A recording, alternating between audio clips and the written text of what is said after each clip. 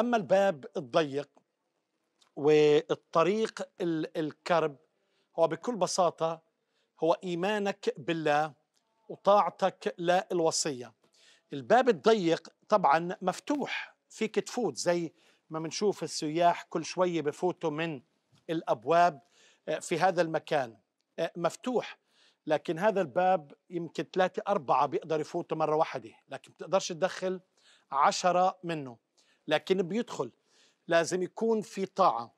آه، الباب الضيق طبعا له حدود واضحة. وخلينا نسمي هاي الحدود هي معاملات الله.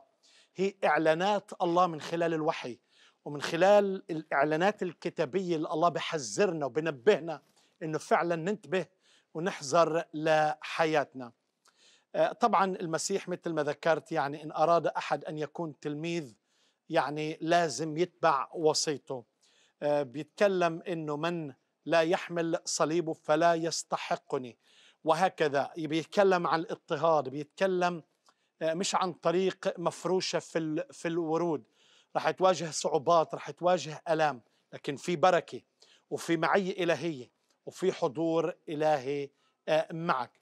قال يسوع المسيح في يوحنا عشرة تسعة أنا هو الباب إن دخل بي أحد فيخلص ويدخل ويخرج ويجد مرعى. قال يسوع أنا هو الطريق والحق والحياة. ليس أحد يأتي إلى الآب إلا بي لأنه يوجد إله واحد ووسيط واحد بين الله والناس الإنسان يسوع المسيح.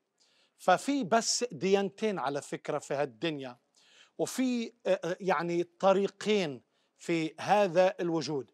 يا طريق بودي للجحيم يا طريق بودي للسماء.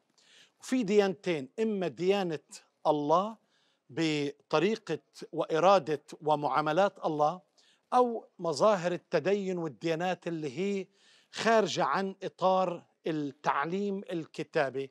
والكتاب طبعا بحذرنا من هذا الموضوع. في باب ضيق في إنجيل لوقا مكتوب اجتهدوا أن تدخلوا من الباب الضيق.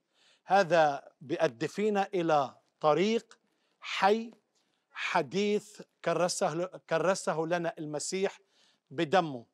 هذا هو الطريق للحرية الحقيقية وهذا هو الطريق للسعادة الأبدية وهذا هو الطريق للراحة والنعمة وهذا الطريق اللي بتحس في حضور الله معك كل يوم بصير معك في هذا الطريق حتى يشجعك ويبنيك ويباركك. فأي باب بتختار أي طريق وأي مصير بتختار أنا بصلي من كل قلب إنك تختار الحياة اليوم. الرب يباركك.